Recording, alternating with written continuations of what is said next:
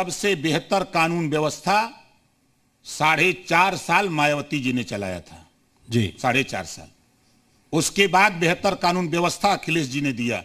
आज तो कानून व्यवस्था नाम की कोई चीज़ नहीं है। आपको अगर बुलंदशहर याद है तो फिर कुंडा भी याद होना चाहिए। बिल्कुल याद है। जहाँ नहीं, मुझे सब याद है। सीओ की नहीं मुझे गोरखपुर भी याद है। सारी चीज़ें याद रहनी चाहिए ना फिर। मुझे गोरखपुर- फिर, फिर आप उनके साथ जाइए जिनकी कानून व्यवस्था बेहतर थी जिनका आप नाम ले रहे हैं देखिए। उनके साथ जाइए जिनकी पूरी सरकार अच्छी थी कांग्रेस। आपको देखिए मैं, मैं आपको बता। दूँ ओम प्रकाश राजभर निराला है। हम जहाँ रहते हैं सीना ठोक के रहते हैं। जी। और गलत अगर हो रहा है तो उसका विरोध करेंगे। चाहे किसी की सरकार हो। हम किसी की सरकार में रहे गलत होगा तो विरोध करेंगे और कहेंगे। हम चुप रहने वाले नहीं हैं। कल तक नहीं साथ था आज साथ हैं। आप देखिएगा।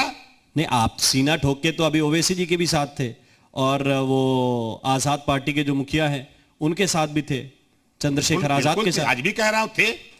मैं कहा कह रहा हूँ कि नहीं थे? और उनको बता रहे हैं आप ये भी टीम है ये बीजेपी की? नहीं मैंने कभी नहीं कहा। ओवैसी?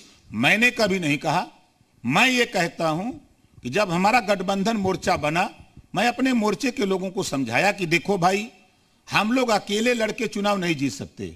हम सौ सीट लड़ने के बजाय एको सीट ना जीते सौ सीट लड़के हम दस सीट लड़के दसों जीत लें। ये बात लोगों के समझ में भी आई। और शिवपाल जी के आवास पे हम चार नेता जी। ओम प्रकाश राजभर शिवपाल जी ओवैसी जी और चंद्रशेखर जी। हम चारों बैठे। चारों लोगों ने तय किया कि चलो अखिलेश जी के साथ समझौता किया जाए। जब बसपा ने इनकार कर दिया तो मैंने कहा कि चलो वहाँ चलते हैं। सब लोगों ने तय किया। दस तारीख की डेट पड़ी कि शिवपाल जी, आप बात करो। दस तारीख तक शिवपाल को डेट दी गई, हम लोग फिर अपने अपने घर चले गए काम में। दस तारीख को फिर शिवपाल जी नहीं बात हो पाई तो तीन दिन बाद मैं खुद शिवपाल जी के यहाँ गया। हमके नेताजी, क्या हुआ? कहा, बात तो नहीं हुई, आप बात करो। हम हमके देखिए, हम जाते हैं तो मान स्पाट फैसला लेते हैं भाई। हम जाएँगे तो एकदम सट जाएँगे। फेविकोल हैं।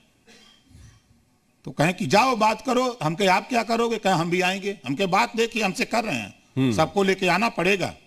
सीट कम मिलेगी ये तय कर बता देता हूँ। कहा नहीं जाओ बात करो। हम गए बात तय हो गई। फिर मैंने प्रयास शुरू किया। अभी अंतिम देखा मैंने ले जा करके अखिलेश जी के यहाँ चंद्रशेखर जी को बैठा दिया। आप ही लोगों के टीवी पे चला कि दोनों लोगों की बात तय हो गई दो सीटें तय हो गई। फिर मेरे यहाँ मैसेज मिला भाई का कि हमारे लोग कह रहे हैं कि नहीं अब कम है मैंने बात किया तो एक एमएलसी और सरकार में शामिल होने की बात तय कर दिया फिर लोगों ने कहा कि नहीं पाँच सीट। हमने कहा कि बात किया वहाँ तो उन्होंने कहा कि उधर अब नहीं दे सकते। तो हमने कहा कि उनसे कहा कि हमारे तरफ़ आओ हम दो सीट देते हैं अपने कोटे की भाई। हम कह देंगे एक आध सीट और पाँच पूरा हो जाएगा। तो उनके लोगों ने कहा कि नहीं हम लोग पहले दूसरे चरण में लड़ेंगे। जी। तो मैंने चूँकि मेरी मजबूरी मैं पहले दूसरे तीसरे चरण में चुनाव लड़ ही नहीं रहा था।